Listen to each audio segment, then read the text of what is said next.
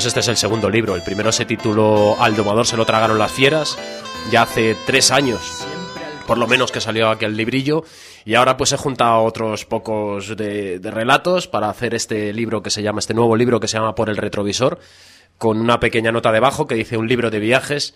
Y es que, en efecto, si en el primer libro los relatos eran al buen tuntún, lo que había ido saliendo y, sin más, no tenían ningún nexo en común más que relatos cortos, en este sí que he tratado de juntar todos los que hablasen de, de diferentes excursiones, de diferentes viajes que he hecho a lo largo de mi vida. Cuando era más joven, pues el famoso viaje que te haces a París o a Ámsterdam o a, a Marruecos, a Chauen, a fumar. Y luego ya, pues un poco más de mayor y con más poder adquisitivo, pues para poder cruzar el charco y, pues bueno, yo que sé, viajes pues eh, por Brasil, por México, por un montón de, de sitios donde he viajado y pues siempre ocurren cosas interesantes que, que contar, anécdotas divertidas, que plasmar en un libro y pues a eso me, me he dedicado en este nuevo volumen que acaba de salir. La verdad es que gente del barrio, que mayormente es mi público, no los compradores de Plaza y Janés y de todos esos editoriales grandes, la gente así del barrio, de diferentes barrios que ha leído mi libro, que tampoco es que esté muy acostumbrada a leer libros, que más bien yo creo que hace el esfuerzo porque lo firmo yo el libro, me han comentado eso que tú dices de, joder, plan, hay palabras rarillas, pero la historia y el tal es súper cercano y, y me siento muy, muy personificado en esas historias y tal. Y pues no sé, la verdad que no hago ningún esfuerzo, me sale así, simplemente. De, los secretos deben ser pues de toda la vida llevo escribiendo. Desde que era pequeñito y me iba con mis papás de vacaciones ya me llevaba yo un pequeño diario. Y en estos viajes ha ocurrido eso. Yo siempre que hago un viaje de estos que pues cruzas el charco o que te vas un mes, 30 días, 32 días de viaje, tengo por costumbre al menos los 20 primeros días, porque luego ya entre picaduras, en que te falta no sé qué, entre que no llegas a no sé dónde, que ya estás un poco cargado, dejas de escribirlo, pero los primeros 20 días intento llevar una especie de diario, en el que diga dónde está, a cuánto está el cambio, qué cuesta tal, a quién conozco. Entonces eso me ha servido, me ha sido una gran base para, para ahora ponerme a confeccionar este libro, ¿no? De tirar todos esos recuerdos, aquellas anécdotas de cómo era, pero dónde estaba, en qué autocar venía. Y todo eso lo- me ha servido para hilar este relato. En realidad tampoco doy muchos datos, desde luego, ni técnicos ni geográficos de cada ciudad que he visitado, de cada pueblo, sino más bien pues es mi cuerpecito paseándose por, por esas latitudes y lo que allí me sucedió. La temática, por suerte o por desgracia, se repite, ¿no? Eh, no sé cómo decirlo. Aunque viaje, sigo siendo yo y mis costumbres siguen siendo las mismas. Es decir, si voy a México, pues intento allí probar la marihuanilla, allí que se cultiva a ver si está rica. O si voy a cualquier lado, me gusta probar el licorcito que dicen que allí es el bueno. En fin, que se relaciona un poco, ¿no? Soy el famoso este Paco Martínez Soria, este que sacan del barrio para ir a parar a otro barrio, ¿no? Y allí pues intentar hacer una vida parecida a la de aquí, solo que con otras costumbres y degustando otros muchos olores y colores.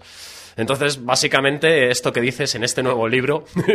Vuelve a ocurrir. volvió a ocurrir y creo que ocurrirá siempre, ¿no?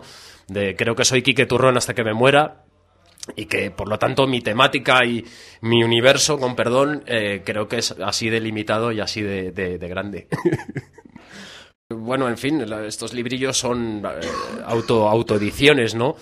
Entonces, pues te tiene, me tengo que amoldar a un presupuesto muy pequeño, fabricar mil copias que son muy poquitas, para irlas vendiendo poco a poco. Por cierto, lo iré repitiéndolo para comprar el libro que vale 5 eurillos.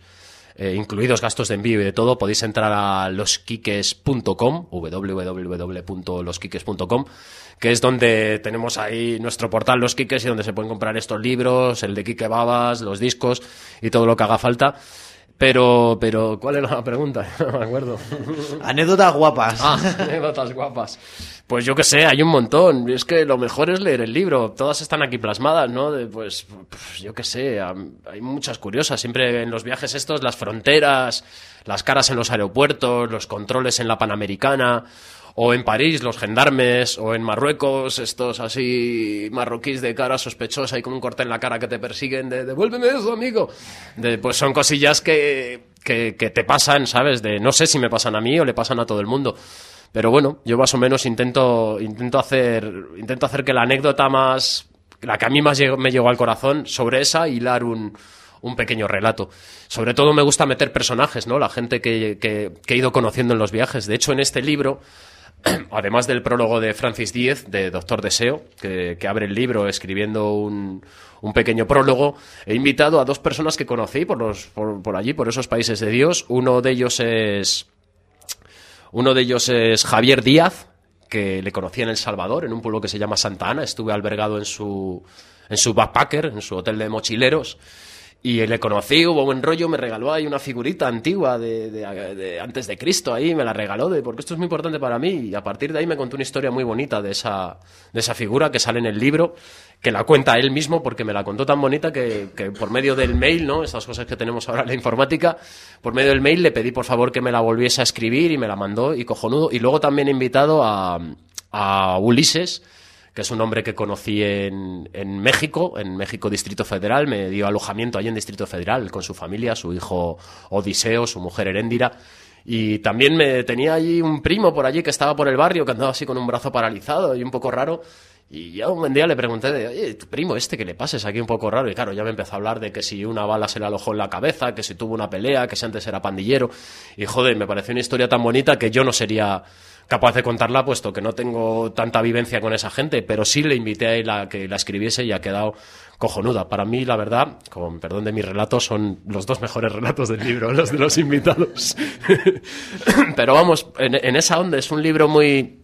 He querido hacer eso, el diario, ¿no? El diario de un viaje, así un diariete de sin contar demasiadas historias, ¿no? De lo que te ocurre ahí a flor de piel y de lo que vives y lo que realmente creo que para mí te llevas de un viaje, aparte del plato de Oaxaca con una flor y todas esas cosas.